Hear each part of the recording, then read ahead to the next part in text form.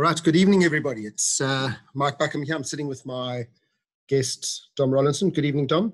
Hi, guys. Hi, everybody. So um, we've started exactly 7.30 um, and we've got um, quite a lot of competition for airtime this evening. I believe our president is speaking at 8 o'clock, um, but he probably will only start at 9 o'clock, so hopefully we'll be finished by the time he starts. Um, and hopefully you get some very relevant and, and current information from this webinar.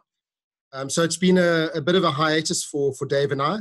Um, we started with a bang in lockdown, um, but I think there was a bit of a saturation of webinar content and we, we wanted to make sure that we brought everybody something that was, was worth watching instead of just uh, throwing stuff out there. So we hope it's been worth the wait. Um, we really wanted to do, I've, I've always wanted to do something on pelagic birding. Dom, you're, you're a super keen pelagic birder and I'm sure you're excited to talk to us about some albatrosses this evening. Yeah, I am. Um, yeah, so it's been a um, yeah, using words, yeah. But uh, yeah, I mean, it, will be it should be a fun fun hour and a half or hour. Um, All right, let's yeah, get let's get kicked off. So talking about Dom, um, we we uh, have prepared a few slides. That was when he was probably about 12 years old. Um, and uh, Dom had to identify the species for me. Dom, what's the bird you're holding? So that's a great shearwater. That's from Nightingale Island in the South Atlantic. Right, and um, Dom's just going to quickly talk to us about his his PhD. He's a doctor. Um, he, he got his PhD at the Fitz, um, and he he did his his PhD on seabird bycatch in the longline fisheries. Yeah, so my title was uh, understanding and mitigating uh, seabird bycatch from a pelagic longline fishery. So pelagic longline fishing is so it's different to trawling. So a lot of people get them mixed up. So trawling is when you've got those big nets behind the um, or behind the trawler, and they're going for deep water hake. So they're setting their nets really, really deep, bringing it up, and those are the vessels that we look for when we go out on our um, pelagic trips off Cape Town. But uh, on my, on the boats that I was working on, it's um, it's baited hooks, and they really are long lines. So they set when I was out at sea, we were setting between 120, 130 kilometers a day of the baited hooks, a, a, a, baited hook every 50 meters. And basically, as the as the hooks are set, that's when the birds are get caught. So they see a baited hook, they see the, the sardine or the anchovy, and they, they go they swallow the swallow the bait and basically get hooked in their stomach or in their neck, and die quite a probably or drown basically. So quite, probably quite an agonizing death. So I was looking at uh, basically understanding the data from the last eight or so years I think it's 20, 2007, 2014, and looking at ways of basically reducing that seabird bycatch. So yeah, it meant a lot of time out on the ships, which was which was tough, but also a great way to increase your sub-region list. I'll never forget Dom um, getting into Signal, um, coming into Cape Town Harbour, and the first thing he did is he, I think he contacted all his mates and just yeah. made sure that we were all still alive. Yeah. So a lot of time spent at sea, Dom. Yeah. Um, and uh, I mean, it was great in terms of I got a lot of useful data, but uh, yeah, a lot of a lot of lonely days out there. It was generally just me who spoke English, so I was out on the Japanese and Korean boats. Um, but uh, yeah, I did enjoy the time out there. And then just very briefly, so my PhD, as I mentioned, looked at looked at the data set for over that eight-year period. Also did looked at uh, seabird diving studies, so looked at white-chinned petrels, how deep they were diving. Um, as well as uh, looking at tracking studies. So where the white-chinned petrels, which represent around 70% of our bycatch, where they get where they forage and, and what overlap they have with the fisheries. And I did a bunch of at-sea trials, um, looking at weighting of the of the hooks and covering the hooks and different ways of reducing the seabird bycatch. So that was it in a, in a nutshell. Great. I'm sorry. I, what I forgot to do when we started was to introduce Dave. Um, Dave is is uh, working the buttons in the back. So if you have any questions, um, you can stick them in the chat room. Um, so I didn't do a Zoom 101 either. Um, the, the, the, Zoom is very simple. You've got a taskbar. Um, look for the, the button that says chat and just type your chat in. I've, I've muted all participants, um, just makes it a little bit simpler and a bit cleaner. Um, but if you do have questions, just stick them in the chat room. I'm going to unmute Dave so that he can, he can answer questions as we go. If you just give me a second so I can unmute him. Uh,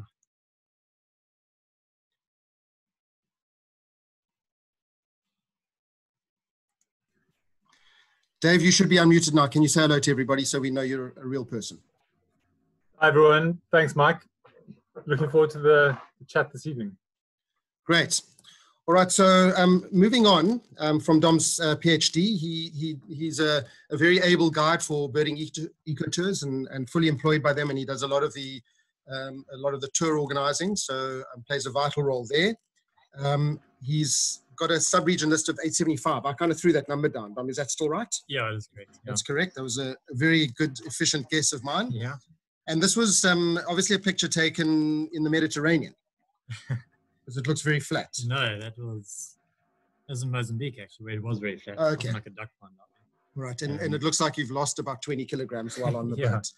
Um, 11 kilograms. All right, so you spent many days, as you mentioned, and and my first interaction with Dom was a very memorable one. I didn't actually meet him, but um, I heard his name because he and his brother Pat and uh, a good friend of theirs, Andre, yep. um, discovered the, the, the most twitchable golden pipits of the subregion. I think this far. There's been a few others. Yeah, there's this one was, Kuzi that's stood around for a while. That's right. But this is the one I twitched with with my my father and my um, my son, and so um, Dom um, created some very fond memories for me as well. And then I think um, what we wanted to do this evening, just before we talk about albatrosses, is, is really talk about um, the new Sasol 5 launch. And the reason we want to talk about that is Dom is one of the co-authors. So you'll, you'll see his name on, on the list of authors. Um, and we thought we'd, we'd just talk a little bit about the, the Sasol that's going to be launched. Um, Dom, can you maybe tell us a little bit about your involvement in the project? Yeah, so I came on board quite late into the project, probably only in, I think it was June last year.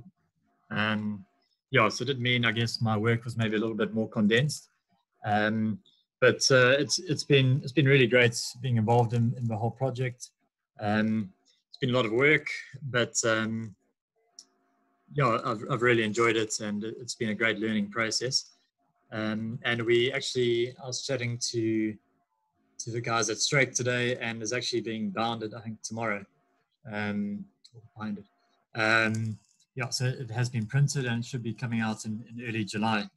And uh, yeah, it'll be in three different versions. So we've standard English, Afrikaans version, and there'll also be a larger, a larger guide. And yeah, they're going for 370, and then I think it's 450 rand for the larger one. For the larger edition, yeah. All right, let's let's look at some of the the new features. Um, obviously, quite a lot of new illustrations from from two new artists. Um, let's start with Faansie. Yeah, so Faansie's done. So he he did redid all the nightjars uh, so, I mean, a particularly difficult group of birds, incredibly tough to identify. And we, we didn't feel that our the previous artwork from Sasol 4 had given these nightjars or done, done these nightjars justice. And Faansie's got involved and does some really amazing, uh, amazingly detailed illustrations, uh, which has certainly improved things. And he's redone all the seabirds. I think that's about 70 species of seabirds, something like that and uh, we'll be using those illustrations in this um, talk tonight, and you'll see that they're incredible. Yeah, so I mean, maybe just to to to highlight that now, we we got special permission from Struik to use Faansie's um, seabird illustrations in this in this webinar. So I think it's going to provide us with a great balance between photographs and and illustrations, yeah. and, and Faansie's um, seabird uh, drawings are, are incredibly good. And I, I did uh, chat to one of your colleagues, uh, Neil Parents, and yeah. he had chatted to Faansie, and Faansie regretted um, doing all the seabirds because they're actually far more than he originally thought they were. So yeah. a lot of species to deal with. And then maybe talk about um, um, some of the other artists. Yeah, so Alan Harris is the other new art, uh, artist we've got on board. So Alan has done all the all the raptors for us. So another big uh, tricky group to identify. And uh, yeah, so I particularly enjoy his vulture plates and his um, falcons. Yeah, I think this falcon plate is is really really amazing and yeah, really lifelike. Uh, so Alan did all of those for us, and he did a few other plates um, additionally. And then Norman Arlott, so him and uh, Peter Hayman did the previous artwork for the previous four other editions of Sasol. And this is just an example of a one of his plates. So these are the bush shrikes. It didn't turn out incredibly. Yeah, the, the, the resolution. resolution. on the webinars maybe a bit iffy, but in the actual yeah, I mean, it's, printed it's, book, it's, it's really sharp. Yeah. The maps on on SABAP data. Yeah, so spent a lot of time on the maps. So we've redone just about all of the maps to some degree. Um, And I chose this this spread here to show the actually to show the francolin. So there's, there's a few new francolin splits based on very very um, very recent uh, research. So we've got um, Stuhlmann's being split from Coqui francolin, and Kirk's being split from Crested, and also not on this on this spread, but uh, Canadian francolin from Correct. Orange River francolin. So this just shows the the, the new maps. Um, yeah, I mean it's a little tricky to draw the maps, especially for Stuhlmann's, because there's very little data on where the divide actually where the, where the divide is for these two. And, and then yeah, a lot of new. So I spent a lot of time going through Trevor Hardaker's rare bird reports and basically updating all the vagrant records. So that was, was actually quite fun. And as you can see, there's very recent vagrants here, white-throated bee-eater from Port Alfred and red-rumped swallow from the eastern highlands of Zimbabwe. Yeah, I mean, that was specifically why I chose um, those two particular species is because we, we know that they're two, two very recent um, rarity records and those, they've both been included in, yeah. in, the, in the new print. And uh, I, I, think this just shows um, the, the, the level of detail in the in the text now. It's been highly expanded. Yeah, I mean, we spent particularly spent a lot of time on the, the difficult groups. So raptors, nightjars, we we beefed up the text a lot a lot for these um, compared to Sasol four. So you'll notice um, that difference in Sasol five. And then yeah, a bunch of new uh, additions to the to the list. So uh, Tahiti petrel off Durban, short-tailed shearwater off the Cape Agulhas. There's the white wagtail around the corner here and white tern, that is Etienne's bird from the Eastern Cape. Correct. So all these new sub-region additions have been added. There's probably about, I don't know, I'd imagine 15 of them, something like that, from the from Sasol 4 to Sasol 5. And if I can uh, just um, highlight that you were responsible for the short-tailed shearwater. Yeah, so that That's was off, um, yeah, that was off Cape Agulhas. On one of your on one of your observations. Yeah, on one of the long line trips. Um, it's still with the rarities committee. Um, but, don't, uh, don't say that. you shouldn't say that. It's in the book. Yeah, but uh, should be hopefully go through soon. I hope. And yeah, another another big selling point of the of um, Sasol five is the addition of these barcodes. So you might have noticed there are barcodes under the maps uh, for for all the species, and um, there's basically there's a free app which you can download. Um, and the details will be in the book, or they are here actually. And um, and then read from your phone. You can read the barcode, and it will play the call. So I think it's quite a nice way to learn your bird calls. You can page through the book, and at the same time, you know, use your use your phone and play the, play the call, um, which will, I think that'll work quite well. And then there's also the revised app. So yeah, it's been we've been working on that in the last month or two, uh, particularly, and yeah, it's got an entirely well very different uh, layout compared to the previous app. Um, and obviously all the artwork that's in the field guide has come through. Yeah, everything everything from the book has been included in the app. Uh, and a, a, feature I particularly enjoy, enjoy is the if you look at the you see a little play button on the taxonomic and on the alphabetic list. So you don't actually have to go into the bird pages. You can just you know scroll through the list and play it through there. And I used it out the other day out birding, and it's a really quick way of accessing the cores. So maybe just to clarify, the app's not available yet. Um, no, it'll come out. It should be out at the same time as the book, so early July. Okay. We're expecting the book around about the 9th of July. I think that's the official. Yeah, I think so. Somewhere around there. Um, and we've got a lot of new, new cores, and um, we got uh, multiple cores for different species. So not just a song, but we've also got aggression cores and alarm cores, and various other noises that they make. Um, and quite a nifty feature, I think, of the new app is that you can you can actually zoom into the illustrations and uh, we've scanned just about all the old artwork too. So the, the quality is much better than, than before. So you can zoom right into these images, you know, just use your two fingers to zoom in and the same with the photographs. So um, I, I quite enjoy that a, feature. Yeah. Not looking at a small image on a, on a phone, you, you yeah. can, you yeah, can, you can zoom right into the bill that Nightman's Tested there. So the name's at the top. Though. You yeah. can see it's a light yeah. Um, and then another thing to note is that we will be regularly updating it. So we'll be getting, you know, so what you see now is not what it will look like in six months' time. We're going to regularly, you know, be looking for new new bird calls all the time. Same with photographs. And um, new records, new rarity new, records. Yeah, that sort of thing. So we will be updating it as often as possible. Great. Okay. So um, there's um, not only the reason to to hear us talk about albatrosses, but you've all come on to this webinar to perhaps win a prize.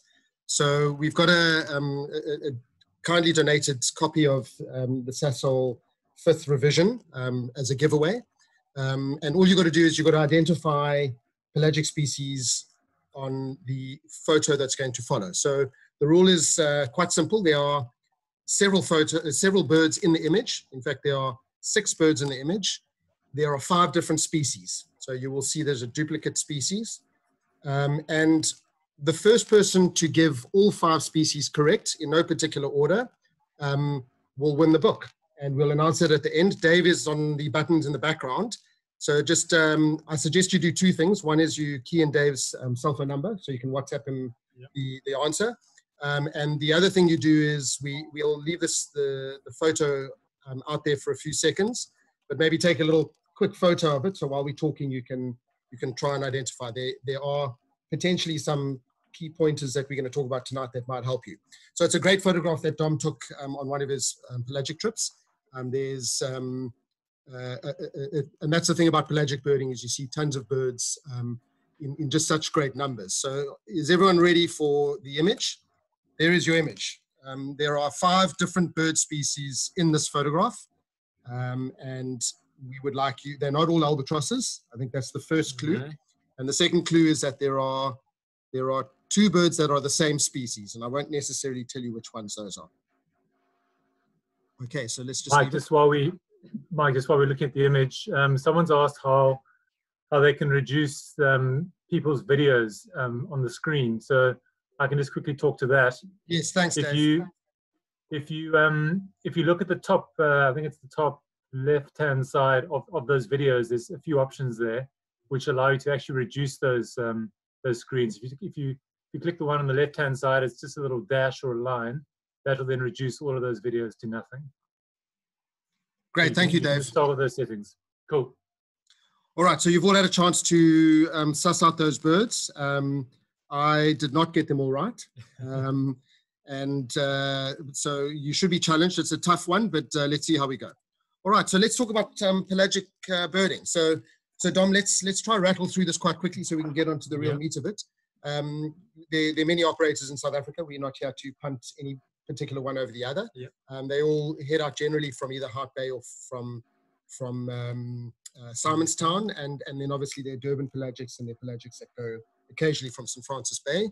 Um, you'll pay around two thousand rand, um, depending on on the the cost of fuel, I guess. Yeah. Um, it's weather and swell dependent. Um, the pelagic trips uh, are often cancelled uh, or postponed um, because um, the safety is, is obviously key and, and the conditions need to be good to enjoy the birding. And uh, conditions change quickly. So layered clothing um, and stability on these boats is variable. So sometimes the boats are quite stable and sometimes yeah. they're not so stable. And so seasickness is real and is very unpleasant. And um, I'm, a, I'm a terrible sufferer from seasickness. I think I've got a little concoction that works. And we're not dispensing medical advice in this webinar because we will get sued. Um, try and speak to someone who knows, but there are different methodologies. So this is a great picture. Thanks to, to John Graham who gave it to us. I was actually on this pelagic. These two people, uh, the, the lady in the foreground is a lady by the name of Ruth Miller. And the guy with the blue glove is a guy by the name of Alan Davies. And in, I think it was about eight years ago, they were doing a global big year. They were the first people to really target a, a huge global list. And they ultimately ended up with four and a half thousand species. And a pelagic was put together where they were put on the pelagic, and a couple of people managed to get on as other guests. And I was one of those. And um, it was important for both of them to see the specific species. So you can see Ruth is not great, but she wasn't nearly as bad as Alan. Alan was really bad, and she's he's supporting him. She's kind of supporting him. This was, I think, on the trip back to the harbour, but he was mostly sitting in the corner, um, and and vomiting every 30 seconds. And I'll never forget um, a wandering albatross um, was sighted, and for them it was obviously an, an, incredibly important bird. It's one of the world's top birds, and to not see a wandering albatross in a big year would be not good and uh, everyone shouting wandering albatross and alan did not move and ruth actually went over and physically lifted his head in the direction of the wandering albatross and shouted at him alan wandering albatross look at it and he looked at it and he said, I see it. And then he vomited, and then they were happy because they both had seen it and they could tick it. So, yeah, it really is the worst when you do head off. I mean, I get it occasionally, and they've said, you know, I've heard people comparing it. You, you just want to fall off and die, and I did. I remember looking overboard and thinking, I just want to fall Yeah. off and end it all. well, they say there's two stages. The one is that you think you're going to die, and the next stage is that you actually hope you do Yeah. die. Right. So, if you're going to go out to sea, uh, make sure you you take precautions. Um, you generally return at seven and re- return at three. Um, you're looking for trawlers. You go past Cape Point um, when, when we're talking about the, the Simonstown ones, which are probably the most um, prevalent pelagics that go out. Uh, you're looking for trawlers because that's where the birds are. And you can see this photo of, of Cliff Dorse, who's one of the top um, pelagic guides in the country. And, and the other person is my son, Adam. Um, this was a pelagic we did last year. And you can see that raft of birds behind um, a trawler. And I've got a quick video, which I hope actually works. All right, so that's, um, that's a trawler. This is one of the long line trawlers. Um, and um, I hope the video is playing, but it's just to give you all some idea um, of what a pelagic trip out there is like. If you haven't been, you might be amazed at, at the volume of, of birds that are flying around. Yeah, and you also be amazed by, I mean, the diversity behind there. So you can sit behind there for an hour, you know, waiting for the nets to come up and, and you know, sifting through all those the birds in, in the flock. And you think you've gone through everything, and next thing a, a massive wandering albatross flies through, which you hadn't seen before. Yeah. So there's there's a continual in and out of birds. Revolving of birds in and Yeah. out of the, the stream. And yeah, so it's And- just worth sticking there and waiting it out. yeah, I mean, there literally are thousands of birds. And, and just in this, this, this frame, you can see now there probably are um, 12 or 13 um, species of birds. Obviously, Yeah. gulls and a few gannets, but um, some, some really cool tube noses as Yeah. well. All right, so um, you'll you'll not see. It's not like going on the Zaagkuildrift Road and ticking 150 species in the morning. You're going to see about 20 species on a pelagic trip. Yeah, Uh, but what you see is is fantastic. And generally, you're going to get um, great views of great birds, provided you're not vomiting off the back. yeah. Um, and then time of year is important. Dom, maybe just you want to tell us about time of year? Yeah, so in terms of diversity, you probably get a um, higher species count in summer because you've still got a few of the winter birds which often will stay over into summer, and then you've got, of course, the northern hemisphere species which push down. Give us a, a couple of those northern hemisphere. So, like Cory's shearwater, you get Sabine's gull as another one. Red- red knot, a, a red uh, phalarope Yeah, red Apologies, phalarope yeah. is, is a real another rarity, special, yeah. real special. Arctic terns. Yeah, and then I mean, in winter you get the bigger numbers. So what's happening is it's obviously free, you know, much colder down south. So all the birds are pushing off their breeding islands and, and forced uh, further north. To, to feed, I guess. Yeah, to feed Yeah. and to escape the cold Yeah. and, and the frozen waters. So in winter you get the really big numbers of birds. You get five thousand birds behind a, a trawler or something like that. Yeah, so this this um, video that I showed that was um, a July pelagic, and it was a classic July pelagic with huge huge numbers of birds. Yeah, and probably a better chance of getting your albatrosses, your sort of the rarer albatrosses like grey-headed and Salvin's and that sort of thing from about July to October. All right. Um, so um, most pelagic trips that we know of are, are one-day affairs. Um, although BirdLife South Africa has put together some amazing multi-day pelagic trips.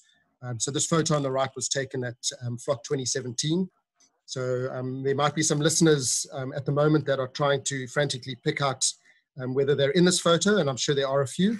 I think Dave's in that photo, and he might even be picking his nose. Um, but yeah, so that Flock 2017 was a massive success. Yeah, I mean that first morning just Yeah. set the tone for the rest of the trip. I mean, I'll never forget. Um, we we were late for breakfast, but it was still pitch black outside, and we rushed to breakfast. Came back to our room to get our camera and binoculars, and I opened the curtain of our room, and a wandering albatross ten meters away floated past our balcony. It was absolutely phenomenal. yeah, I mean that's probably some of the best, you know, couple hours of sub-region birding we've had. Yeah, we And had we had grey petrel, sooty albatross, light mantled albatross, all white-headed petrels, wandering wandering albatrosses. Yeah, it was it's amazing. yeah. lots of life is for everyone. And and so there were a lot of highlights on that trip. And, and I, I have to say that there was one particular low light. yes. Um, this was we were told there was a theme for for the the one gala dinner, and the theme was you had to dress as a penguin. What most people thought that meant is just wear a bow tie, but myself and my two sons thought uh, it meant a little bit more than that. So that's the three of us um, going to dinner on the gala evening dressed as king penguins. Um, so what we didn't want to do tonight is is necessarily give you too much information about Flock 2021. I think a lot of people who are listening are, are thinking this is in preparation for Flock 2021. Um, we hope this resource is going to be useful when that does happen. Um, we, we don't necessarily know. Um, it all depends on MSC, and I think BirdLife are working very hard to, to get it going. Um, what I have been told is that it will definitely go. It's just a case of, of when it goes. They may need to postpone it. So hopefully we'll all meet um, on Flock uh, to Marion, um, hopefully in 2021, and um, we'll be able to circulate these webinars again yeah. for some key pointers. All right, so before we kick into the albatrosses, I thought it would be useful um, to, to highlight where the Southern Ocean breeding islands are, because that's where all these birds generally breed. So so Dom, maybe you want to take us through a couple of those islands that are key? Yeah, so excuse me, so starting in the in the west, so South Georgia um, has huge uh, huge populations of uh, of seabirds. So not just uh, your albatrosses, but also penguins, penguins. massive king penguin uh, colonies down there. But like most of our black-browed and wandering albatrosses come from South Georgia. We've then got the Tristan, da Cunha, and Gough archipelago and that's where our Tristan albatrosses come from, and Atlantic yellow-nosed, and then moving further east, uh, so to the Prince Edward Island. So that's where the Flock 2021 is is going to be going, uh, and that's South African owned.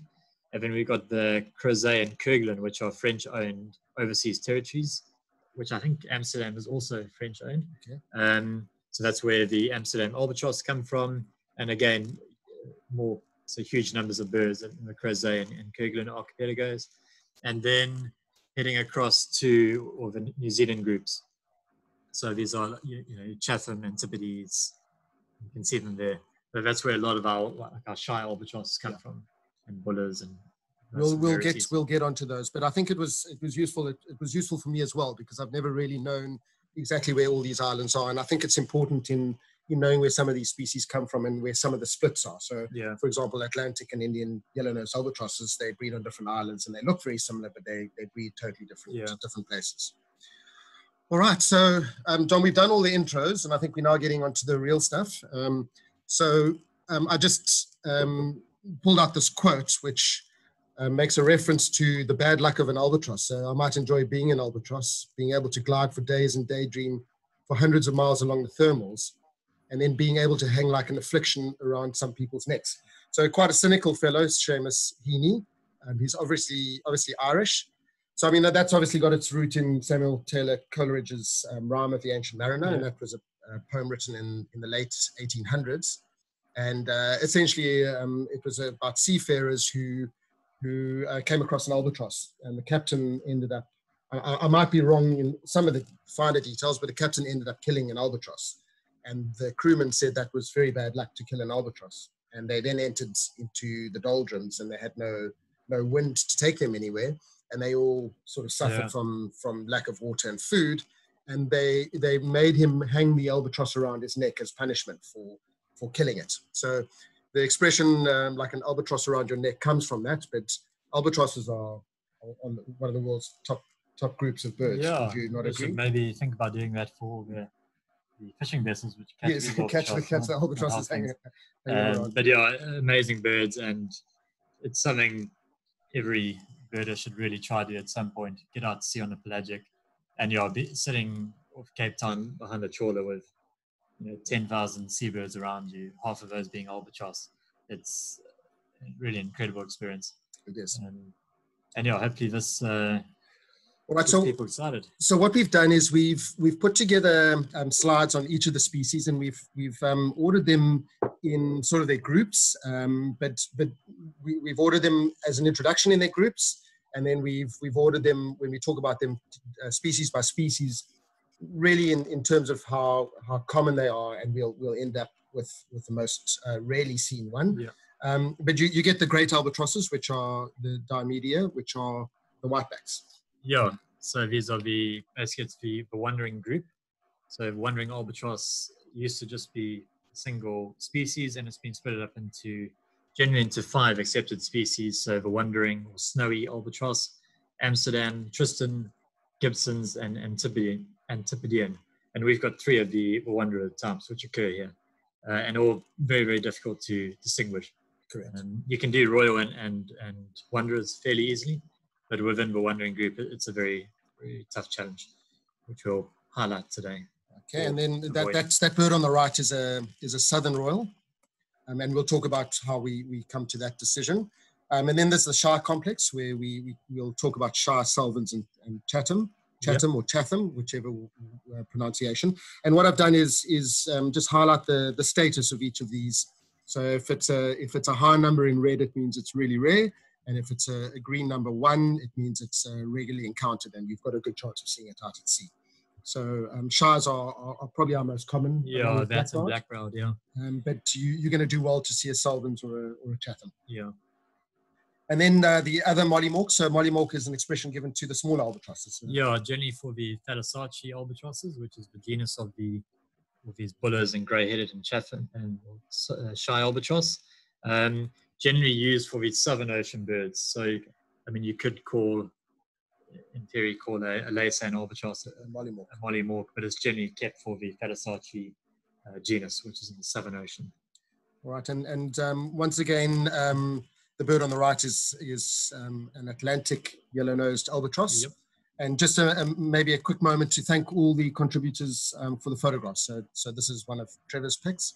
Um, so thanks to all the photographers, we've credited them where necessary because I certainly haven't photographed all these birds and then this is probably my favorite little group of, of albatross species. Yeah. Um, they really are, they're very special to see in the subregion, but also they are spectacularly beautiful. Yeah, there's very elegant looking birds. So that long pointed tail, long thin, thin wings, and almost looking, you know, pterodactyl-ish yeah. out at sea, um, particularly the light-mantled. So um, yeah, really great group to see, and we got to see two of these on, on one day. On Flock 2017. Yeah. yeah. And then the very last one, um, and you can see I've rated that 11, and we'll talk a little bit more in detail about that particular record as we get to it. All right, so let's let's start off, and and um, what I've done is um, just uh, well, in fact, that was not right for me to say. What what Dom has helped us with is is to categorize these things. A team effort. Um, we we just given some information there, so you can always go back and look at the information. We we feel it's it's useful to tell you how many of these birds are are in existence where do they breed? And, and what you can see in the map at the bottom, those two little red dots are, are where Shy albatrosses breed, um, Tasmania, Auckland, Antipodes Islands. What is its conservation status? What is our status if you had to go on a pelagic trip in, in SA? Yeah. Um, how do you see it? When do you see it? And, and how big is it? And, and what can you confuse it with? So yeah. we've got the same template for all the species, along with some wonderful plates from Faansie um, and some photographs highlighting some of the features. Yeah. Right. So let's kick off with Shy, which is probably a bird that you can see even from land in a, in a nice yeah, big northwester yep. um, in good conditions. Yeah, we saw them. I did some sea watching a couple of days ago and had them off Camps Bay. Yeah. In big numbers after that uh, cold weather which came through over the weekend. All right, so let's just um, um, talk about the, the key features with, with Shy albatross, Dom. Yeah, okay. So for Shy albatross, you're looking for, I mean, at a distance, it looks like an entirely white underwing but it's actually got this very, very thin black border around the edge. And even the white is going into the primaries there. So basically when you head out to sea, especially off Cape Point, you've got four of your, the four common albatrosses, which are shy, black-browed, and the two yellow-nosed. Um, so I guess starting off with this, for the first start of this talk, we'll, we'll talk about the, how you differentiate those four species yeah. from each other. And then if it's something different from that, then you start worrying about the, the rarer species. Yeah, and the real the real finer details. Yeah. So it's that, that very, very thin black border. Also there's that black thumb print you can see um, close there on the shoulder, which we've highlighted. And yeah, these are illustrations from the from the new Sasol, which have these useful annotations, uh, which highlight the, the, key features of each species. Um, yeah. So I mean, Dom, one of the things I, have noticed being on pelagic trips and seeing a lot of Shy albatrosses, you get you get quite a lot of variation in in the grayness on the head. So some shys are, are very grey on the head and some are, are much paler. So, yeah. So like most most of the albatrosses, they start off dark okay. and they lighten with age. So you can see this juvenile here um, has got a very dark hood and, and, and collar. collar yeah. And then it's getting lighter uh, as it as it ages. So that immature bird is paler and they get even paler as adults. So this is an older bird? Yeah, that's an immature. And then these adult birds, these are quite grey looking birds there, but they, they can be quite pale. Um, you know, grey cheeks. Yeah, so here's here's a, a, photograph showing those features. Um, you see the, the black thumbprint is very obvious and the very white underwings Yep. um, and the very thin black border. And, and as you say, this bird's a, is, a, is a, an immature because it's got that grayish border. Yeah, juvenile, immature, yeah. With that dark It's a tip. dark tip and it hasn't turned into a yellow tip. Yep. Right, and here's another pic of the, the upper wings of a juvenile. And then here's a, a nice full adult shy albatross with the, the tip of the bill is, Yeah. has, has now yellowed. Uh, so that that would get even even more yellow as uh, as it gets older. You can see it's got a slight dark tip to the bill there. I think we've got a pic later on in comparison with Salvin's where Yes, we've got a very yellow tipped um, bull. Yeah. Dom, talk to us about uh, Steadi and Cauta, um, those two subspecies and where they breed. Yeah, so these are the two subspecies of shy albatross. Um, so Steadi is known as white-capped albatross by some authorities, and then adult, so cauta is known as a, as a shy albatross. Um, and the cauta subspecies uh, breeds on Tasmania, Okay. or offshore islands there. And we probably, of the birds that we get off South Africa, around 95% of our birds are Steadi, or white-capped albatross from from the New Zealand islands. New Zealand Islands. Yeah, and uh, that's from looking at genetic studies from DNA studies from um, from birds caught out at sea on the on the longliners. So that's from a few hundred birds. All right, so moving on to our, our second most regularly encountered, um, possibly tied first most Yeah, regularly probably. encountered. Um, so black-browed albatross, it's, it, it breeds in, in numerous places um, on these these islands. So that's um, that's um, South Georgia, and then obviously uh, Prince Edward, um, Crozet, um, and then some of the New Zealand islands as well. So uh, a very widespread bird breeding in, in a lot of different places. I think maybe just we don't have it here because it's never been recorded, but Campbell albatross breeds on Campbell Island and Yeah. is very similar except for a pale eye. Yeah. So if you see a black-browed albatross off here, get with a, with a pale iris, you can get very excited. It's a first for the subregion. Yeah. So it's basically identical with a with a pale iris. Yeah. That's what you're looking So for. what about what are our features? What are our features for a for a black Black-browed. albatross? So yeah, con- contrast this with the shy albatross, which had that almost entirely white underwing, and you're looking here for that really broad black border. Um, so the birds, the juveniles, start off with almost an entirely black underwing, which then lightens with age. If you look at our immature in the bottom left corner there, and then go to an adult, that black border gets thinner and thinner, but still at an adult is a really thick black black border. Um, you're also looking at the the orange bill with a reddish tip. As an adult, that's a really distinctive feature, and you can see it very, very clearly. Yeah. Um, and then juveniles start off very similar bill um, bill coloration to a shy, to a juvenile shy. shy, with that greyish bill with that dark tip. And a lot of the the young albatrosses show that that same sort of feature the dark tip to the grey bill. Right, I think we've got some nice pics of, of, of the younger birds. Uh, here's a classic adult. This is just the upper parts. You can see obviously the very yellow bill and the, the dark orange tip. Yeah. Um, and then uh, there you see the, the dark, the, the very wide border, which is very different to, to what we saw with the shy albatross. Yeah. And, the, and the name black-browed is, it, it really does have that very distinctive black eyebrow, although most, many albatrosses do have that anyway.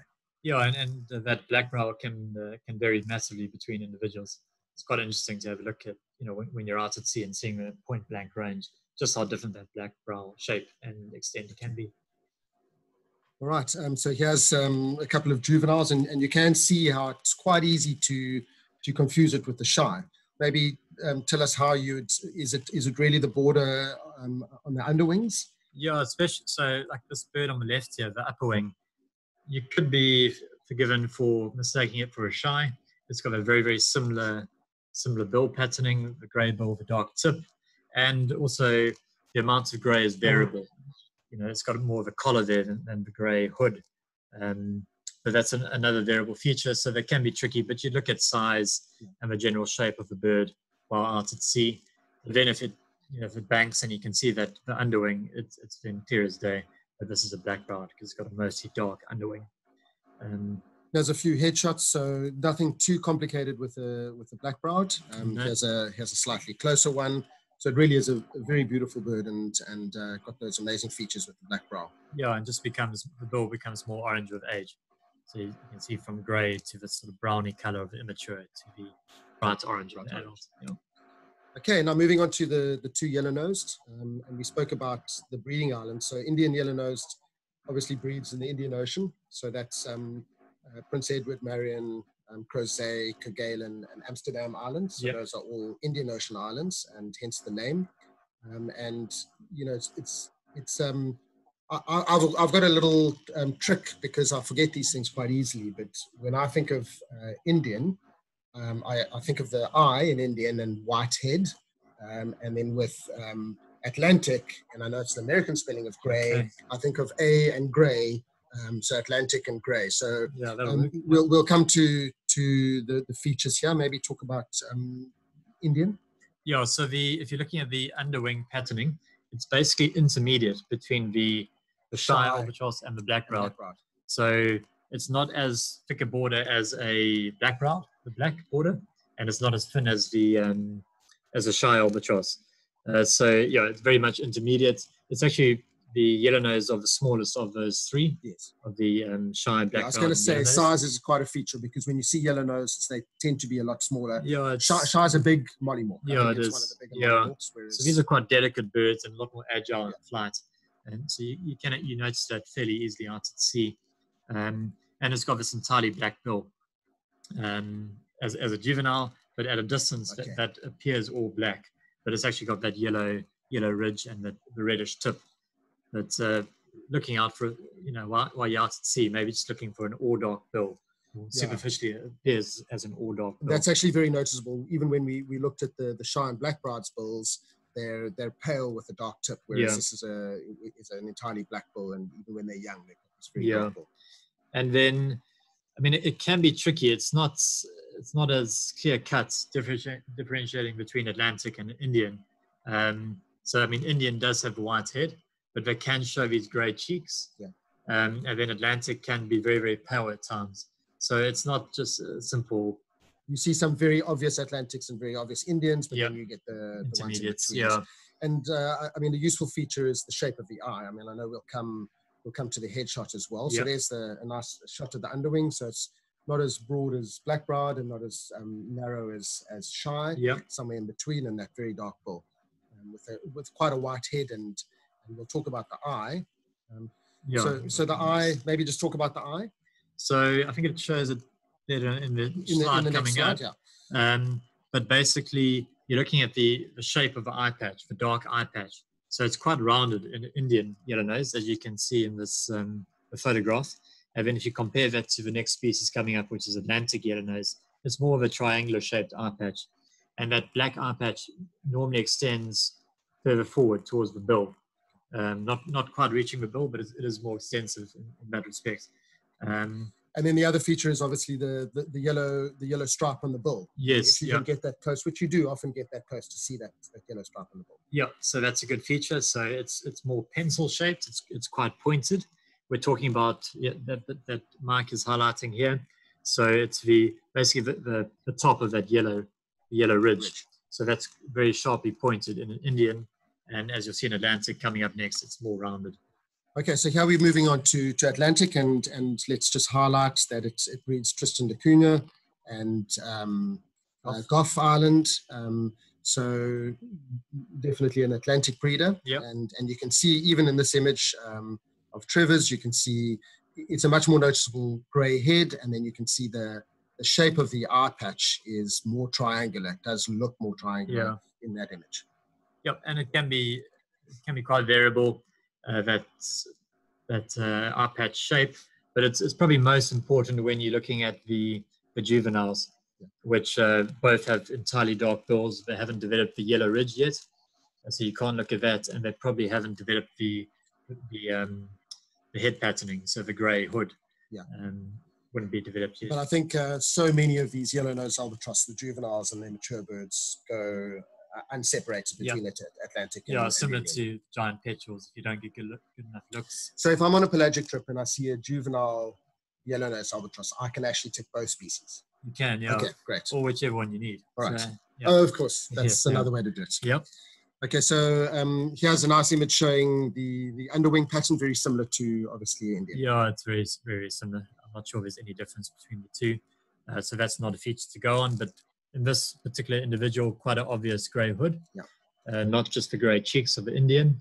Um, yeah, so you wouldn't, if you saw a bird like this out of sea, you shouldn't battle with identifying that. And and this one, I mean, that, that eye is very obvious, even at a distance like Yeah. this. You can see it takes up so much more of the, the, the, the front of the Yeah. eye. and something I've used, and I'm not sure how accurate it is, but I, what I often do is I look at the the, the color of that the rump or the, the lower back there, which is really white, and I compare that to the color of the head. So in Indian, Yeah. it should be very very similar, but here you can see there's a very strong contrast between the two, Yeah, that's a very good and that point. actually often works out. Um, it's might be a useful feature to try use out at sea. And then this is the shape of the um, that yellow ridge we were talking about. So much broader here, much much more rounded on the, the top of the, or the base of the Almost yellow. instead of a pencil, more like a koki. Yeah, pretty much. Yeah, and then um, yeah, I mean the- this image doesn't show the the, the, the, front on shot, but you can see the the triangular shape of the the eye patch, which which Yeah, is and it's actually obvious. really extensive in that individual, almost reaching the bill. Yeah. The, the black eye patch. Correct. All right, so now moving on to um, the bigger birds, Yeah. um, and we're as I said, we're going through sort of the regularity of seeing these species. So we've we've done the four common ones, I guess. Yeah. Um, and I think you should feel like you you you would want to see all four of those species on a winter trip off, off, uh, Okay, um, yeah. Cape off the Cape. Um, but as soon as you see a whiteback, you know you've you've um, had a very good pelagic. So, yeah, that's what you get excited about. I so mean, wandering albatross, the bird with the largest wingspan in the world. Yep. Um, Twenty thousand remaining, um, and under great threat with um, with the mice on, on Marion Island. Um, lots of different breeding islands, um, so very widespread. But I think most of the breeding pop- population is actually on Marion Island. I think uh, up to fifty percent of the Yeah. world's breeding population is on Marion. and even uh, and also a lot down in South Georgia. on South uh, Georgia. So here's, yeah. here's South Georgia over here. Yep. And we're going to talk about Tristan as well. So this um, snowy albatross, this is um, the, the the classic wandering, um, breeds on these islands, and then Tristan breeds on Tristan da Cunha and Gough Island over here, or Inaccessible Island, which is part Yeah. of that archipelago. Right. So.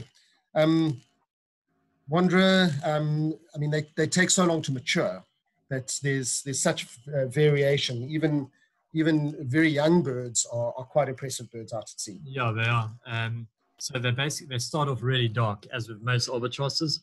Um, Can I just go to the next slide because it shows um, two nice um, younger birds at, at different stages of, Yeah. of plumage. So this would be a, a classic juvenile on the left here, entirely dark upper wing um, or upper parts, and then the body, which you can't see there, would be all dark brown, a chocolate brown, and then that bird on the right would be an immature bird. It's uh, you can see it's getting that leopard phase spotting on the back there. Uh, it's basically the white is slowly starting to come through, and they do take. I mean, they can be in this immature type plumage till they, know, 12 years old or something. Okay. Um, so they take a really long time to mature. And that's, if we go back to this image here, so that's a, that's a really old bird. Um, so that could be, I know, 20, 30 year old bird at, at that stage. They do get even whiter than that. So basically just the tips of the wings are, um, are dark. Um, but yeah, I mean, also the tail there has, has whitened almost entirely, I Yeah, think. which is unusual. I mean, you, you generally seeing wanderers have got a bit of black in there. Yeah. Um, and then another useful feature to look for in the wandering type albatrosses is that pink uh, neck mark, which none of the royal albatross get. Um, You've got a few, you can't see the pink marks Really so well in, there, in these, um, but these are just two birds of different ages, and you can see quite a lot of black in the tail of these birds.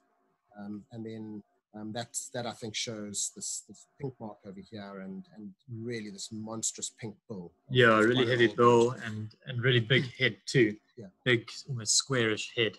But When you compare that to a royal albatross, it's a much slimmer, sleeker head Yeah. with a longer bill, which we'll, we'll talk more about the, the differentiation between the wanderers and the royals. Probably the royals come up next.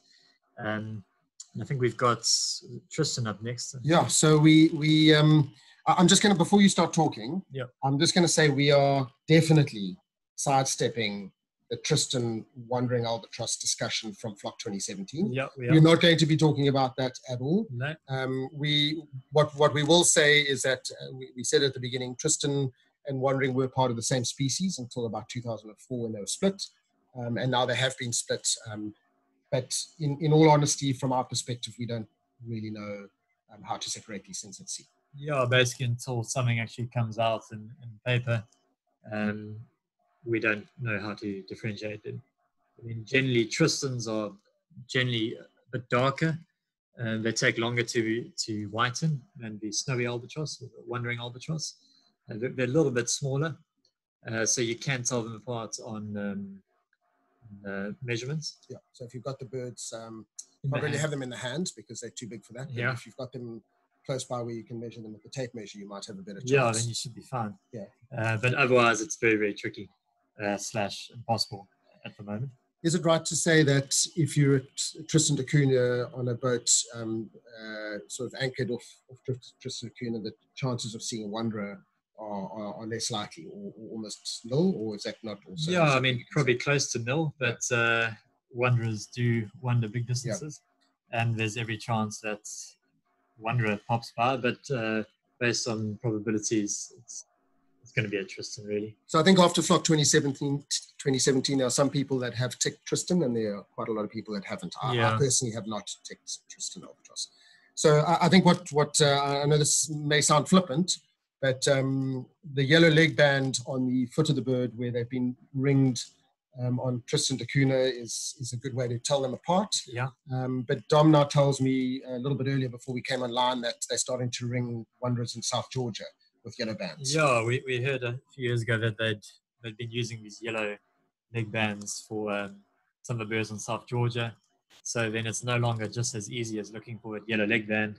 You've now probably got to be able to read that alphanumeric code and then uh, see if, you know, link it back to the database and see if that bird was actually rung on Tristan da Cunha. So basically on plumage, we don't know how to tell these things apart. So this is a bit of a cheat to uh, to look for the yellow leg band, but there probably isn't another way to Right. So, so if you've got a good enough camera to take a photograph of the leg band with the numerics and alphas, you can maybe um, tick it with, with some degree of certainty. And then we just threw these um, these distribution. These are these are movement maps of of Tristan albatrosses. Um, yeah. Is, is, this based on is this based on geolocators or? It is. Yeah, it's geolo- geolocated geolocated data. Okay. So that, that records um, light levels and from that, from that can work out sunset, sunrise. So we've got the, the, the, the, 12 months of the year and, and how these birds move from, from their breeding islands um, throughout um, throughout the, the Southern Ocean. Yeah, so I think so. This is a paper from so this is taken from Tim Reed's paper, I believe, on Tristan albatross movements, and I think it's non-breeding birds. I'll probably have to check that. But basically, the take home here is that from about April to October, we have Tristan albatrosses in our waters, mostly off the west coast and off the Cape Agulhas. Um, so, I mean, there's every chance that the wanderers that we're seeing off Cape Point is a Tristan albatross, yeah. maybe even greater probability that it's a, a Tristan over a Wanderer. Um, we do get Wanderers coming up from Marion and from South Georgia, but um, as I say, we don't know how to tell them apart. Plumage, but there's, you know, on probabilities, they are in our waters, so we probably are. So we can tick them in. That's yep, all. I, that's both. all I really wanted to hear. Yeah. All right, so um, now the, the, the, two royals, and these are both um, New Zealand breeding birds. Yep. Um, and maybe just if you can tell us so, so Southern Royal, and uh, you can see uh, breeds um, on islands south of South Island. Yep. Um, and Campbell then, and, and Campbell and Auckland, and then the Northern Royal breeds on on South Island itself. Yeah. And then I think on Chatham Island, as far as I can remember. Okay. So, um, yeah, Dom, maybe just uh, to help us with separating the Royals from from the Wandering complex. What yeah. are the key features there? Yeah. So let's deal with that for now. Uh, so you are basically looking for a few things, but a big, uh, very useful pointer is the, the tail. So royals show much more white in the tail. They show almost no black in the tail. Some of the young birds, like this immature bird in the top left, um, the in the illustration, that's showing a few dark tips to the feathers. Yeah, so yeah, this one, this photograph over and here, you can see too, yeah. a little bit of black feathering. Yeah, so this is a, yeah, it's a youngish bird. Um, and then that whitens with age. But if you if you're looking at a at a wandering type of a similar age here, with that amount of dark in the upper wing, um, there would be much more black in the tail. So that's a that's a really useful feature. Um, Wanderers generally whiten their, their wings, so that as they get older, their, their wings whiten. They generally, it appears that as, as if they whiten from the from the middle out, so from the middle forward and from the middle backwards. Whereas Southern Royals, you can see it's got this white um, leading edge to the wing, so they, they generally seem to, at least it appears, to to whiten from the from the front backwards, which eventually forms this almost triangular shaped wedge in the front of the wing. So really old uh, wanderers is the the uh, identification challenge you've got with royals, where they might have very little white in the tail too, uh, but they generally they would show even more white in the upper wings. So even going into the secondaries, that's a wanderer. Whereas the royals generally still generally, retain a lot of black in the secondaries. Yes, yeah. Okay. So that's that's the black in the secondaries over here. Yep. And so it's, it's making that white um, triangular wedge. And then maybe the, the cutting edge of the bull, because I think that's quite a, a key feature as well. Yeah, so um, if you can see I'm going to come back to the, the carpal patch in a second, but maybe just to, to, to, show this, this cutting edge. Obviously, when the, the bull of the bird is open, you can't see the cutting edge. Yeah. But here you can see the cutting edge over here. And, and that's, that's a key feature differentiating royals from, from a wanderer type. Yeah, if you can see that cutting edge and it's mostly white um, great albatross, you know it's one of the royals. Um, the uh, wanderers don't show that, uh, but it, it can often be hidden by, depending on the light, the distance of the bird, uh, often shade can, can play a role too. But if you can see a clear, that clear black cutting edge, you know you've got a royal. Um, I'm gonna. I'm just gonna go back to this carpal patch, um, and then we can peg it here. This this is the carpal patch that we we're speaking about. So this is a, a shot of of a southern royal so underparts is actually the same bird as, as we saw in, in, in that photo. Um, but let's just peg that for, for when we get to, to Northern Royal because that's quite a key identification yeah. feature. Um, and then another thing we mentioned earlier was that pink patch on on uh, wandering on type albatross. So royals never show that. Um, so if you if you can see that pink patch on the side of the neck, you know it's it's, it's not a royal. Type. Yeah. So that's a very useful feature too, and just much as I mentioned earlier, much slimmer looking head um, and, and bill. And it's got more of this pinky yellow um, tones to the bill rather than that deep pink. Deep, deep pink. Yeah, so that's, and with, with um, experience, you can pick out um, royals and wanderers quite, fairly quite easily. Uh, they've got more of a humpback also, the royal yes. albatrosses compared to a wanderer. All right, so here's here's Northern Royal, um, and as we mentioned, Northern Royal breeds on on, on Chatham and actually on um, the South Island of New Zealand. Um, quite near Christchurch, I think. We've actually been, uh, my wife and I spent some time there. So um, very nice to see these birds breeding on the mainland. Yeah. Um, so separating now northern from from southern. Yeah. From the upper parts. Yeah. So we've got it down to royal, and then you need to look at. So it's basically the upper part. So this is a nice, fairly classic adult. It's got an almost entirely jet black upper wings with that white back. So Southern Royals would be showing at this age would be showing, um, or they always show that, of, that uh, white. Whitening. Yep, on the leading edge particularly, and then as they get older, that. that is it fair back. to say because I mean we, we look at this bird, it's got a completely white tail, so this is a fairly mature bird. Yeah, it is. There might be tips to the tail there which are black. Is it sure. fair to say that a that a northern royal is a lot easier to separate from the wanderer types than than is a southern? Yes, I think so. Because, yeah, because of the way the white the, the, the, wings don't whiten like they do in the southern. Yeah, so if there was a wanderer of you know with that amount of black in the upper wing, it would be showing almost entirely black, black tail. tail. Okay. But at this, you can see with this bird, it's got an entirely white tail, so there it's a fairly clear difference. And we can even see the cutting edge on on the bull, and there's yep. no pink on the neck. So we've, yep. we've uh, eliminated quite a few things and then maybe just looking at the, the size of the carpal patch. So if you see, only get to see the bird from, from below, um, that, that carpal patch is much, much more extensive than, than it is for southern. Yeah, it is. And it's, it is a, a pretty good feature out at sea. Um, yeah, I spend a lot of time on the, in an area where we were getting royals every day and you, you could eventually just have a look at the underwing and, and tell them quite easy. Yeah. Um, and there you can see the cutting edge is very distinctive yeah. on this one and, and no pink on the, on the neck. Yep. All right, and then now we're getting back to some of the smaller albatrosses, and um, we, we're starting with, with the next in the in the line of, of rarity value. Um, this one's um, uh, now starting to become a, a pretty rare bird. I think the Yeah. two royals are considered to be rare rare species, and they they, they justify their inclusion in in Trevor's reports. Um, but grey-headed certainly does. Although um, one was spotted um, off off the coast of Hermanus by Peter Verster Yeah. um, a few days ago, uh, which is quite quite out, uh, out, otherworldly. I think is the only way to put Yeah, I mean, I can't think of many or any other land-based grey-headed albatross records from from the subregion. Um, you know, they're mostly almost all of our records are from off of Cape Point, Yeah. heading out to sea and to the trawler grounds, and eventually a bird will come in. And interestingly, almost all of our records are of uh, young birds, so juvenile and immature birds. Yeah. So actually getting a, a, a nice adult grey-headed like this bird here is, unusual. is very rare. Yeah. Yeah, so you can see it's, it's quite a widespread bird. It, it, uh breeds in quite a, a number of different islands. And, and I think the, the first thing that you'd need to, I mean, if you look at that superficially, now we've spoken about Atlantic yellownose, Yep. superficially be thinking that way.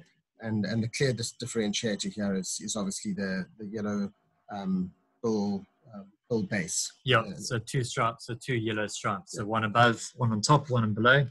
And you can also look at the underwing. So grey headeds will show very similar to black browed in the amount of More um, extensive black underwing yes, yes, that really thick black border, which is thicker than a than a Yellow an. Atlantic yellow Yep. And um, um, maybe um, just to say, uh, remember the details of this bull. We'll we'll have a look at the headshot as well. Um, that's unfortunately a, a front-on shot, um, but that was for, for reasons to show the, the, the top of the, the ridge. But um, the the yellow stripes on top and, and below the bull are are quite narrow, and we'll we'll look at Buller's albatross, which is one of the really rare ones, and we'll we'll have a look at the Yeah. extensive yellow on that.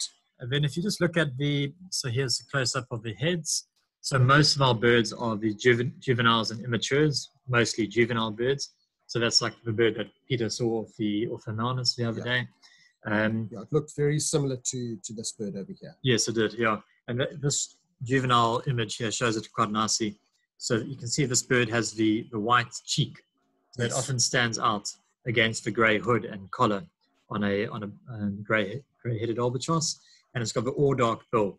So probably the closest thing you, you're going to mistake this juvenile grey headed for is a black browed, a juvenile black browed Okay. albatross, rather than the um, one of the yellow yellow nose. Yeah, Okay. but um, it's got an entirely dark, maybe very very dark grey black bill, uh, whereas black browed have a paler bill with The doctor. And that's that's a, a really good feature to tell them apart. All right, let's move on to to Salvin's, and Salvin's one of the Shy complex, um, and uh, you can see the the breeding islands are are um, Crozet and then some of the, the New Zealand islands. Um, I, I personally haven't seen a, a Salvin's, and maybe just to to say it, it, it's extremely similar to to Yeah, Shy, It's it's really really tough. P- to particularly the, the the cauta, I would say, Uh, subspecies with a grey head. yes, it would be. Yeah.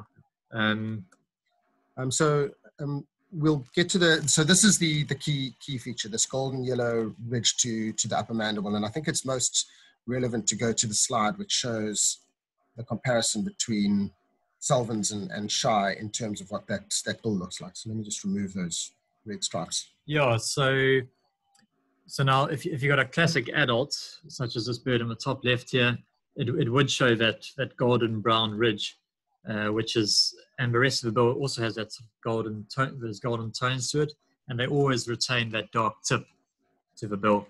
Um, whereas shies, as they get um, older as an adult, particularly the cauta uh, subspecies or the, the Tasmanian subspecies, their, their bills get much yellower, and they do get sometimes get a yellowish ridge Yeah, to the bill. there's a bit of yellow on, on this illustration. Yeah, it's sort of coming through there. Faansie's done it very nicely there. And um, but doesn't have that entirely golden brown ridge Yeah. such as Salvin's. Um, and then if we go back to I just the, want to go back to that original photo because it Yeah. shows that that golden yellow ridge very nicely. yeah, so when you've got a, a nice adult bird like this, or very close to an adult bird, it, it's not it's not too difficult. It's when you've got the juvenile birds, um, such as That one over there. Yeah, there you go. The, the right hand image there. The juvenile birds are really tough to t- tell apart. So shy albatross can show this really dark grey hood also. Um, and uh, then you've got to look at the underwing. So if, if you remember the shy albatross images from earlier on, they had this the white primaries. So there's a lot of a lot of white going into the primaries there. Whereas in Salvin's, you're looking at a much um, much the primary underwing is much darker, much darker. In, into the primaries. Um, but it's it can it's, be so difficult. I mean, you can see even this bird has got um, a bit of whitening in those primaries. Yeah, so we really are talking um, at the upper range of um, highly technical identification out at sea. Yeah, I mean um, the juveniles might even be probably impossible to tell at sea um, because there's so much overlap in the amount of white or dark in the, in the primaries. So you're really hoping for a, a nice classic adult yeah. or at least an older immature. So this was the, the, the Shy that I spoke about earlier with the very nice yellow tip, and you can see that's all grey top of the top of the bull, and where you have the Salvin's here, it's got this golden golden yellow. Yeah. And this is a, a great shot that that Trevor allowed us to use, and that shows um, a shy albatross over here and uh, a Salvin's over here. So obviously, it's Salvin's slightly grey head, um, but the real feature is that uh, top ridge of the bull. And I'm not actually sure what the identity of that piece of of sea life is actually. Who knows what it is? It doesn't look very pleasant, but they seem to be fighting over it. Um, all right, and now we're moving to this is the bird I most want to see in our, yeah, in so our sub-region waters, and I'm, I'm even happy to go to New Zealand to see this because yeah. this is probably the most attractive albatross there is. And I don't think we need to spend too much time talking about its uh, identification because it's pretty easy. It breeds, As an adult, yeah. It breeds, it breeds on on on Chatham Island, and um, I mean it really is. It's also part of the Shy complex, complex yeah. Um, but it has that um, banana yellow bill um, particularly as an adult, but you can see that as a, as a juvenile, it does have a slightly, uh, slightly less obvious um, yellow bill. Yeah. So it starts off more horn colored as a, as a juvenile, and then lightens or, or yellows, I guess, with, with age. And it, it's a really strong contrast between that yellow bill and the, the dark gray hood. Yeah. So it really does stand out. So they say I've never seen one. um, but uh, yeah, I'm also hoping for one of those to pitch up, pitch up one day off, off the Cape. But and, uh, you yeah, can see these very dark primaries as well, which I guess is uh, a decent feature. Although once you see the yellow bull, you probably yeah. I mean, very you know, similar patterning to a Salvin's with those dark primaries. Um, you know, less so than a shy albatross, but really, as an adult, it's fairly unmistakable. It's when you get juveniles such as this. This bird on the left here. Yeah. yeah. Um, but really, just uh, the most spectacular looking albatross um, out there, I think. Well, I, I, think there's a there's a strong argument for many of the species, but it, it really is a, a, beautiful bird with that grey head and, and that beautiful yep. yellow bill. Okay, so we spoke about Buller's, um, and I, I, asked everyone to to concentrate on the extent of the yellow on the bill of a grey-headed albatross. Yep. The Buller's shows the same feature; it's got yellow on top and, and yellow on, on the bottom of the bill. Um, but you'll see on the side shots, Buller's is, is far more extensive on, on top and bottom. Yeah. And you can see this is a, a classic New Zealand bird. And thanks to, to Rich Everett who allowed us to use his photos. And, and these are photos that are, are in the Sasol guide as well. Yeah. And this is a, you can see this is a number nine in the rarity scale. Yes. So I think there's only been about seven or eight records ever. Yeah. Um, so yeah, we're at that stage now. These are really, really tough birds. So if, you, if you've lost concentration by now and you can't keep up with all these features, it's probably not too much of a problem because you'll you'll you'll have the, the, the guide standing next to you having a heart attack when one yes. of these pictures up. It's really a beautiful, uh, beautiful broad yellow stripes on, on the upper, yeah. and the lower part of the bill. And that contrastingly pale crown. So if you have a look at that, that grey head with that pale crown, um, we actually get two subspecies of um, Buller's albatross, which is often split. Um, they often call it a Pacific albatross, okay. which uh, breeds a little bit further east. Which way is it? Into the Pacific. Yeah, yeah, into the Pacific. Uh, but we seem to mostly get the Buller's subspecies from New Zealand. As few as those might be. So you can yeah. see, and, and, that yellow is very extensive compared to, to grey-headed. Yeah, really broad base. And there you can see, that's quite a nice shot of the crown. So the very pale crown, which contrasts with the grey cheeks and, and hood. All right, so now we, we, we're moving into to the, the really tough ones. We've got uh, Sooty albatross, which we've, we've lumped the two um, uh, Phoebetria albatrosses together. Um, Sooty is not nearly as rare as Buller's, but it still is a pretty special bird. Yeah. Um, so I think most people have this on their sub-region list as a result of uh, 2017 flock. Yeah. Um, but quite an extensive uh, breeding um, uh, number of islands. And, and I think the, the Phoebetrias are, are very long winged birds, very elegant and long winged, and you said a bit pterodactyl like, Yeah. quite angular. Yeah, they are, and you know, beautiful to watch in flight. and really graceful birds, um, and I think it's that long tail, which that shape is really distinctive out Yeah. at sea. Um, you could potentially mistake it for a giant petrel, Yeah. you know, an all dark or mostly dark, dark grey brown, uh, large seabird. But it's just that shape. You know, um, giant petrels a much chunkier appearance, that really big More head. humpbacked as well. Yeah, and pale bill. So they shouldn't really be confused. Um, and then, I mean, the the big identification challenge here, which can be tricky with some individuals, Yeah. is light mantled. which we'll show next. Uh, but basically, looking for, and that previous image showed it nicely. Across the back, there's very little, or almost no contrast between the back and the, And the colour, wings, Yeah. or the back and the wings mostly. Okay. Um, whereas if you look at, and maybe this one shows it even better on the right, you can see it's almost exactly the same color across the back and wings. Yeah, it's uniform. Whereas if you look at uh, light mantle, which we'll show next, there's a very strong contrast between the pale mantle and the dark wings. Um, Right, and then and then separating when you see them really close up, um, the, the, the the the eye ring and the, the the stripe on the bill is is key. yeah, so mostly the bill. The eye-ring can be a A little, little hard to pick up. yeah, it's and quite variable. But generally, sooties compared to light mantled show a much uh, broader or more complete eye-ring. Yeah. Um, and then you're looking at the bill stripe, so it's more of a creamy yellow bill stripe, um, which stands out against that black bill. Whereas on a light mantled, which we'll show next, it's more of a Louis grey stripe. Um, Okay, so so this this is um this is a a really really top bird in in, in the sub region. Yep. And I think there were very few people who had this on their list until that that um, amazing morning on flock. yeah. and I've probably annoyed a lot of people who are listening to this webinar who weren't on that flock bid. Um, it was probably the most frantic 15 minutes of birding of my life when um, someone called on the loud hailer, maybe not frantically enough, that there was a light mantled albatross on, on the starboard side. yeah. And I was, Should have unf- picked it up. I think I was unfortunately on the port side and um, knocked a whole lot of old people over in the passage, um, getting to the, the starboard side and, and saw Pete Ryan running at me in the wrong direction. Um, he was going in the right direction, I was running in the wrong direction. But ultimately, all's well that ended well. We managed to get a view of it. Um, but there were a few people who were still enjoying their breakfast by the time um, they got out and saw that the bird had long gone. So it, it was one of those moments that was uh, either very good or very bad, depending on which side of the fence you were on. So, I mean, you, we spoke about very similar superficially to, to Sooty. Well, Yep. in fact, in so many ways, long, slender wings, um, that long pointed tail, um, but that real contrast between the upper wings and, and, the, and the back of the bird. Yeah, and the pale mantle, and it's a slightly stockier bird. It's it is a More bird. bull-headed, I Yes, and, and this image here on the right, the photograph shows it quite nicely.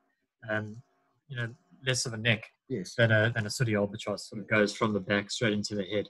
Um, and this, so does this, this photograph here. It Yeah, so that too. a, and it's a slightly younger bird over there. Yeah, it's a bit more blotchy in the juveniles and immatures, as you can see on the back. And there. the young sooties, I know we had a lot of uh, those who missed the, the, the one light mantled. There were Yeah. quite a few young sooties Yeah. that, that also had a bit, a bit of a paler sort of mantle um, and caused quite a bit of excitement until we all realized that they were actually just sooties. yeah, I think I called a sooty as a, as a light mantle. light mantle at one point. we, we all do that every now and again. Um, and then obviously we spoke about that um, that blue grey um, bill stripe, which is which is very different to the yellow Yeah. stripe on the on the, the sooty. and less it's not not a great feature but less of a complete eye, um, pale eye ring it's more of a crescent there. Um, and actually it's something I, I was reading recently. You can look at the the position of the eye. It's sort of more central. If you compare that to a sooty albatross the eye sits much higher in the head. And it has this more rounded shape to to the head of a light mantled with the eye sitting sort of smack bang in the middle All right, so let's let's move on to. We won't spend too much time on these last two, but Yeah. um, uh, this is this is a, almost a holy grail. Um, uh, this is uh, Trevor's shot from 2013, I think he said July 2013, and um, y- this is a bird that there's. It was one of the splits from the the, the, the Wanderer complex. Yep. And it only breeds on, on Amsterdam Island, which has actually got quite a high latitude compared to a lot of the other Yeah. breeding um, uh, wanderer types. Um, and they believe there's only uh, um, around 100 of them left. Um, yeah, so I think it's only around 40 pairs which breed each year, if that, on a good year. Um, but the, the, numbers have actually stayed fairly um, stable. stable. I guess, over the last uh, couple of decades. At around 100 birds, it seems to sometimes go up to about 150. And that's probably what that island can support. Yeah, probably had a few more before people arrived, but yeah. it is a would have had low numbers traditionally. Right, so you, are generally looking at uh, an albatross that, that looks like a, a, young wanderer in, in many ways, but it does it does tend to have this this pale collar, Yep. Um, and well, it's got a, a pale mantle um, and upper neck, and it's got this um, dark collar. Um, but in many ways, it looks a lot like um, those those juveniles, uh, juvenile um, wanderers. I, I, I, guess the, the white belly, whereas a, a, young wanderer will still be chocolate brown on the on the belly, or is that quite it's, variable depending on it's age? extremely variable. So plumage probably isn't a feature. These birds do remain much darker, and they often show this chocolate brown cap uh, throughout throughout their life, um, and they wouldn't they would never get as white as a as far as we know, never get as white as a snowy or wanderer, which um, you know the upper wings are almost entirely white. It probably would never reach that that stage. Um, but the important feature uh, of these um, wanderer types is the, the black cutting edge. So it's okay. only to the upper mandible, whereas the royals have it on both uh, the upper and the lower mandible. And they often show this um, a dusky tip to the bill, which is probably a good feature. And you can see that on the, particularly on this image here. But it's really, as far as we know, it's that black cutting edge to the bill. So obviously the, the Wanderer complex doesn't have a cutting edge except for Amsterdam. Yep. Whereas the Royals do have that cutting edge and yeah. you can eliminate Royals when you're looking at something like this. Yeah, pretty much, yeah. All right, and then we come to um, the last species we're going to talk about tonight, which is if the Amsterdam was a holy grail, I'm not quite sure how you describe this. Yeah. So I, I don't think there's anybody, um, well, certainly not in the sub-region, that has seen this, this species, um, because there is only one record. Um, so Dom reckons when you put this slide together, the best time to see it would have been standing next to Peter Harrison in April 1983 yeah. on, on the observer vessel that he was on.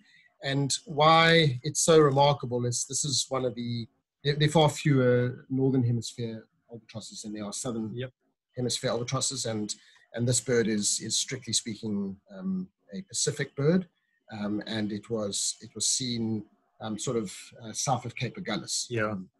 So this is this is a great little um, thanks to Trevor for for sending it to me. I was, I was struggling to to find it, but this is the write up from Peter Harrison. He's he's one of the top seabird experts in the world, if not the top seabird expert.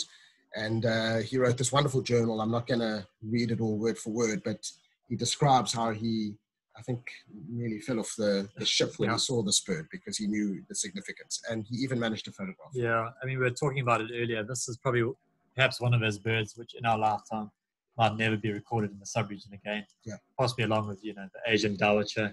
Yeah. Um, and uh, yeah, we're going to battle to get this one on the subregion. Sure. So we, we included it for completeness sake because we have 16 albatrosses recorded in Southern Africa, and yep. we hope that number grows. But it's not likely we're not likely to see another one of these any, anytime soon. Yeah, but who knows? Yeah, we'll we'll, we'll, probably more likely get a Campbell albatross or something yes. like that. All right, so that um, kind of brings us to um, the end of all the species. There's just some slides of, of Laysan. It's obviously got that very dark cheek um, and separating it from, from the black Black-browed albatross, I think, is probably the most likely confusion species. Yeah. Um, but as I say, if you if you can't pick this out, um, the guide next to you will be having a heart attack when when the one does float past um, the boat. All right, and then um, we're gonna we're gonna go back to the mystery bird. Dave, are you are you still there? Um, because we we're almost right at the end, and we want to know if you've got any winners there. I don't know if anyone's got all the species correct. Mark, I'm still here. We've had a great response lots of answers flying through. A couple of some people have submitted three or four answers, as in as in three or four attempts at it as as the uh, presentation has progressed. Are you going to run through the answers first, and then I can announce the winner, or yes, how, I'll, how like I'll do, do the I'll do the species first. So um, the first thing we have is a is a wanderer.